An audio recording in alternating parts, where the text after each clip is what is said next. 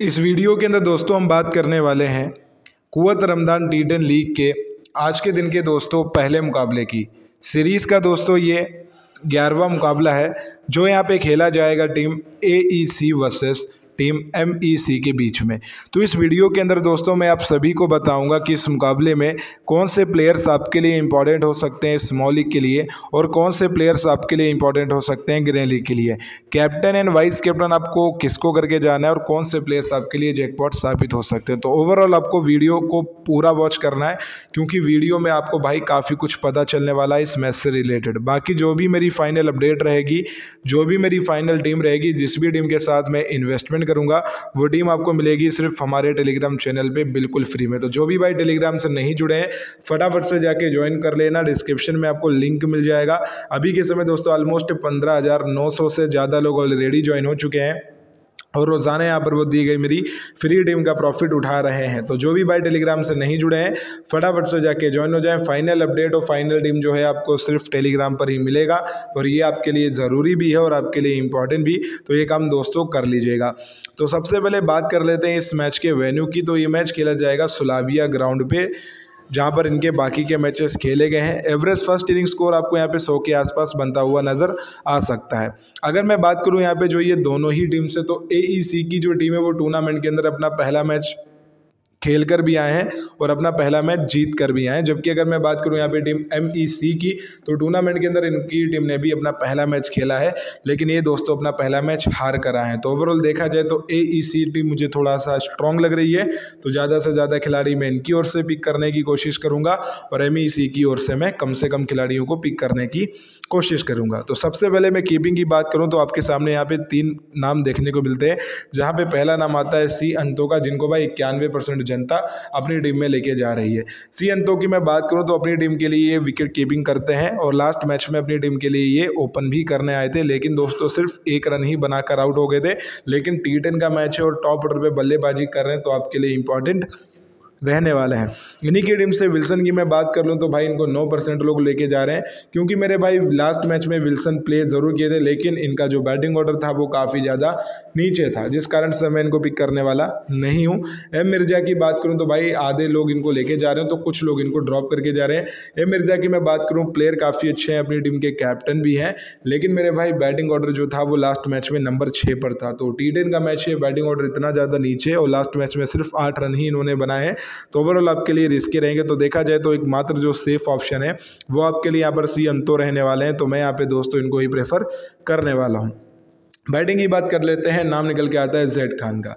Z Khan की मैं बात करूँ, मेरे भाई लास्ट मैच में ओपन करने आते हैं नॉट आउट रहते हैं और अपनी टीम के लिए 28 रन बल्ले से बनाते हैं। तो पिक करना तो बनता ही है। फिर नाम निकल के आता है दोस्तों, यहाँ पे नबील का बयालीस परसेंट लोग लेके जा रहे हैं। नबील आपको वन डाउन बैटिंग करके देंगे, यानी कि नंबर तीन पे। लास्ट मैच में बल्ले से तो भाई सोलह रन बनाए रन आउट हो गए थे अदरवाइज़ और भी अच्छा कर सकते थे तो ट्राई करिए। बाकी यहाँ पे नाम निकल के आता है, यहाँ पे आपके सामने राजेश का। राजेश की अगर मैं बात करूँ कि लास्ट मैच में किस नंबर पर टीम इनको खिला रही थी। तो राजेश भाई काफ़ी ज़्यादा नीचे प्लेयर बैटिंग कर रहे हैं तो पिक करना नहीं बनता है। आवेश महमूद की मैं बात करूँ तो लास्ट मैच में ओपन करने ज़रूर आए थे। आपके लिए ट्रंप साबित हो सकते हैं, लेकिन सिर्फ़ पाँच रन ही बनाए थे। तेरह गेंदों का सामना किया था। तो देखा जाए भाई टी में अटैकिंग क्रिकेट खेलने वाले जो क्रिकेटर्स होते हैं, वो इंपॉर्टेंट होते हैं ट्राई कर सकते हो। बाकी नीचे आप आओगे तो आपको यहाँ पे रेजी और यहाँ पे एस जॉन की ऑप्शन देखने को मिलेगी। रेजी और एस जॉन की अगर मैं बात करूँ तो एस जॉन जो है वो आपको नंबर तीन पे बैटिंग करके दे रहे हैं, यानी कि वन डाउन और लास्ट मैच में भाई तेरह गेंदों का सामना इन्होंने भी किया और आठ रन बनाए।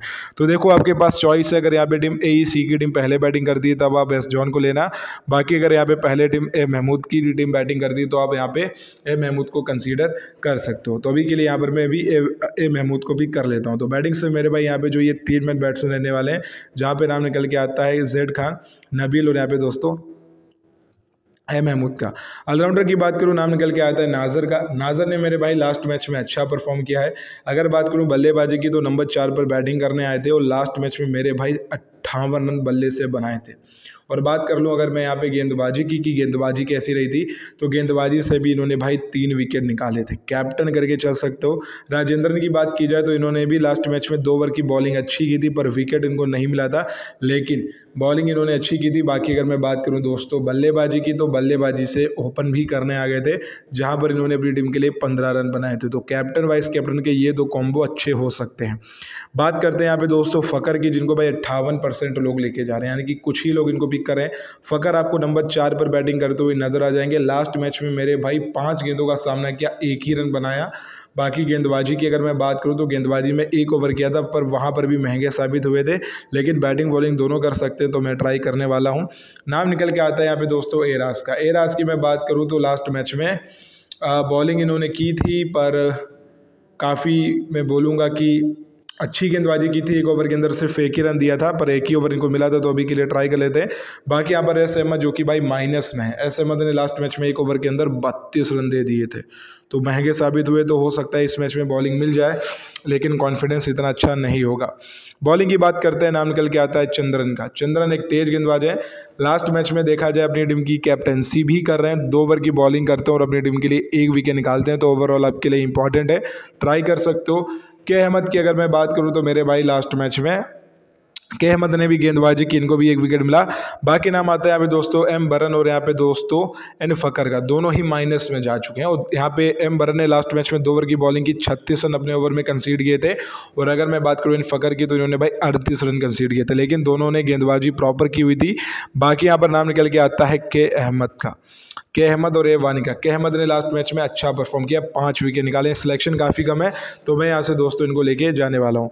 तो देखा दोस्तों आपको जब मैंने टीम कॉम्बिनेशन बताया तो मैंने जब स्टेट्स बताया तो देखा आपने कि ए e के प्लेयर्स के जो स्टेट्स हैं, वो काफ़ी बेहतरीन है। तो इसीलिए मैंने भाई छः खिलाड़ी इनकी टीम से लिए हैं और एम e की ओर से भाई मैंने पाँच खिलाड़ियों को ही पिक करके रखा है। बात करता हूँ दोस्तों यहाँ पर मैं किस प्लेयर को एज अ कैप्टन और किस प्लेयर को मैं as a vice captain pick करके जाऊँगा। तो देखो मेरे भाई कैप्टनसी का तो एक ही ऑप्शन है, नाजर वाइस कैप्टनसी यहाँ पर मैं राजेंद्रन को देने वाला हूँ। काफ़ी लोगों ने यहाँ पे जेड खानों को भी कैप्टन वाइस कैप्टन दिया है, पता नहीं क्यों, लेकिन जो दो सबसे बेस्ट ऑप्शन है, वो यहाँ पर यही दोनों रहने वाले हैं। तो हमारी जो टीम है दोस्तों रेडी हो चुकी है। बाकी अगर आप रिस्क ले पाओ तो राजेंद्रन को कैप्टन भी कर सकते हो, क्योंकि राजेंद्रन जो है वो ओपन करने आते हैं, जबकि नाजर जो है वो थोड़ा सा नीचे बैटिंग करने आते हैं। तो अगर आप ये रिस्क ले पाओ तो आप कर सकते हो, ठीक है? तो हमारी जो टीम है दोस्तों रेडी हो गई है, इसको सेव कर देते हैं और एक बार आप इसका प्रिव्यू देख लीजिए। तो ये दोस्तों जो है हमारी स्मॉल की टीम, एक बार आप इसका प्रीव्यू देख लो। जो भी आपको चेंजेस करना हो, आप अपने हिसाब से कर सकते हो। लेकिन 90 परसेंट ये जो टीम है, वो मेरी फाइनल रहेगी। बाकी, अगर हमारी इस टीम से कोई भी प्लेयर नहीं प्ले करेगा आफ्टर लाइनअप या टॉस के बाद, या जो मेरी हंड्रेड परसेंट विनिंग टीम होगी, जिस टीम के साथ मैं खुद इन्वेस्ट करूँगा, वो टीम आपको मिलेगी सिर्फ़ हमारे टेलीग्राम चैनल पर तो जो भी भाई टेलीग्राम से नहीं जुड़े हैं, फटाफट से जाके ज्वाइन हो जाइएगा। लिंक आपको डिस्क्रिप्शन में मिल जाएगा। अभी के समय दोस्तों ऑलमोस्ट पंद्रह 900 से ज़्यादा लोग ऑलरेडी ज्वाइन हो चुके हैं और रोज़ाना यहाँ पर वो दी गई मेरी फ्री डीम का प्रॉफिट उठा रहे हैं। तो जो भी भाई टेलीग्राम से नहीं जुड़े, फटाफट से जाके ज्वाइन हो जाना। लिंक आपको डिस्क्रिप्शन में सबसे पहले नंबर पर मिल जाएगा। बाकी वीडियो से अगर कुछ सीखने को मिला हो तो लाइक कर देना।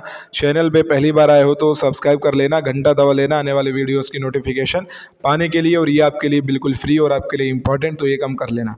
तो मिलते हैं आपसे जल्दी नेक्स्ट वीडियो में। तब तक के लिए जय हिंद, वंदे मातरम।